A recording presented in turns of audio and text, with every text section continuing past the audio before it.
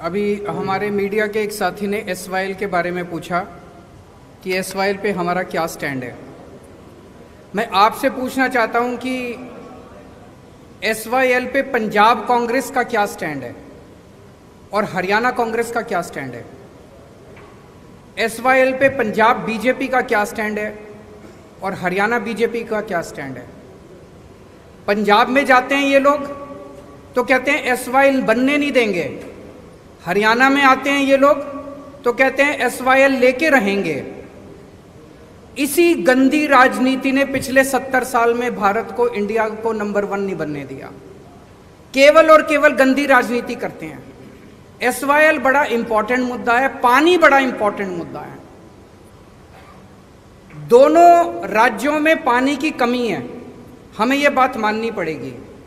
पंजाब में पानी का स्तर बहुत नीचे जा रहा है, पानी की कमी है, लोग प्यासे हैं। हरियाणा में पानी का स्तर बहुत नीचे जा रहा है, हरियाणा के अंदर पानी की कमी है, हरियाणा में लोग प्यासे हैं। पंजाब को भी पानी चाहिए, हरियाणा को भी पानी चाहिए। केंद्र सरकार की ज़िम्मेदारी है कि वो इंटरवीन करके हरियाणा के लिए भी पानी का इंतज़ाम करे और पंजाब के लिए भी पानी का इंतज़ाम करे। केंद्र सरकार का काम क्या है? केंद्र सरकार का काम यह नहीं है कि दोनों राज्यों को एक दूसरे से लड़ाए। अगर हम एक दूसरे से लड़ते रह गए तो भारत आगे कैसे बढ़ेगा? जैसा मैंने कहा कि हम मिशन पे निकले हैं 130 करोड़ लोगों को जोड़ना है। हमें आपस में लड़ना नहीं है। और यह संभव है।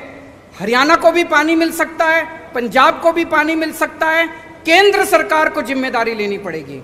मैं प्रधानमंत्री जी से अपील करता हूँ कि पंजाब के लिए भी पर्याप्त पानी का इंतज़ाम करें, हरियाणा के लिए भी पर्याप्त पानी का इंतज़ाम करें और अगर उनके पास समाधान नहीं है, मेरे को बुला लें, मैं उनको समाधान बता दूँगा, लेकिन बैठ के इसका समाधान करना पड़ेगा। ये स्टैंड लेने से पंजाब में जाओ तो एक स्टैंड ले लो, हरियाणा में जाओ दूसरा स्टैंड ले लो, ये स्टैंड की राजनीति ने पूरा गड़बड़ कर दिया।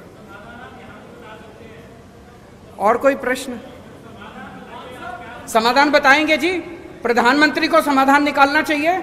अगर उनके पास समाधान नहीं है, मुझे चाय पे बुला ले, मैं समाधान दूँगा उनको। प्रेस कॉन्फ्रेंस के अंदर समाधान नहीं निकलते इन जटिल समस्याओं के।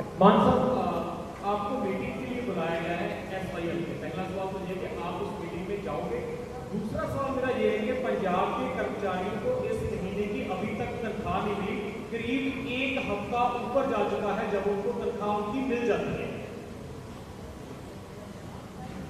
आपका पहला सवाल है, अगर हरियाणा के मुख्यमंत्री और पंजाब के मुख्यमंत्री की कोई मीटिंग केंद्र सरकार की, जो कहते हैं कि केंद्र सरकार ने कहा है कि दोनों मीटिंग कर लें, हम मिलने को तैयार हैं, मुझे मिलने में कोई हर्ज नहीं है। लेकिन जैसा कि अरविंद जी ने कहा, केंद्र सरकार का ये फ़र्ज़ बनता है कि वो इस समस्या का समाधान करे, ना कि दोनों को मीटिंग में बिठाकर, उसके बाद बाहर आकर अपने अपने वक्तव्य देने के लिए उनको छोड़ दें। तो मैं Punjab as a head of the state in Punjab, मैं जाने के लिए तैयार हूँ। मुख्यमंत्री साहब हरियाणा के आए, बातचीत करेंगे।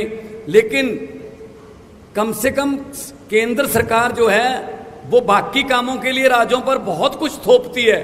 आप ये नहीं कर सकते जीएसटी ये नहीं कर सकते, आप ये नहीं कर सकते, ये नहीं कर सकते। तो आ, केंद्र सरकार जो है वो पंजाब का पानी पूरा कर दे पंजाब के पास और हरियाणा का पानी भी पूरा कर दे। हरियाणा में भी जैसा कहा कि दोनों भाई हैं छोटे हरियाणा छोटा भाई है पंजाब बड़ा भाई है। सत्य सटीक बेबाक।